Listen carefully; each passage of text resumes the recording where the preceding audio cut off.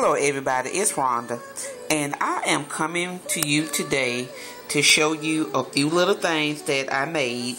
Uh, first of all, I made this little card here using this little stamp set that I had got from Michaels. So, this is my little card.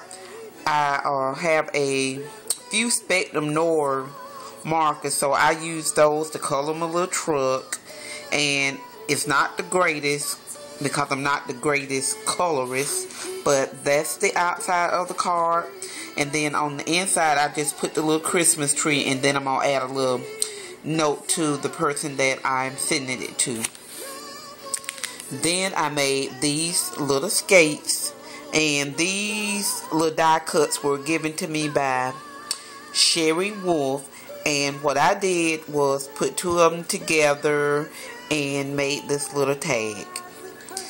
I also sewed up this little gingerbread man because when I was doing my little Tilda, I found a little scrap of cloth, so I just decided just sew you up a little gingerbread man.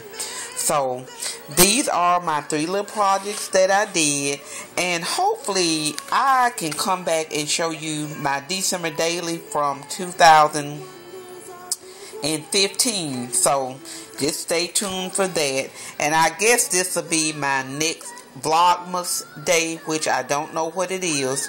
But I want to thank you all for watching. Have a great day, and I'll talk to you later.